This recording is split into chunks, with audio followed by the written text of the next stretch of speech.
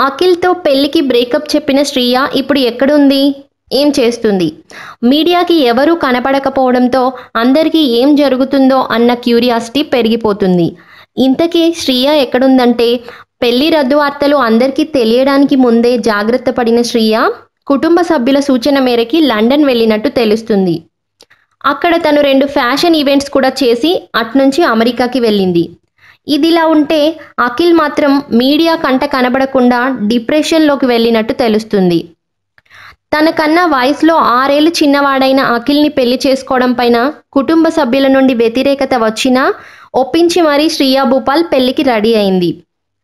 ఏం జరిగిందో ఏమో కానీ మొత్తానికి పెళ్ళి కాకుండానే పెటాకులు చేసుకొని అమెరికాలో సెటిల్ అయింది ఈ అమ్మడు. ఈ వీడియో మీకు నచ్చితే లైక్ చేయండి.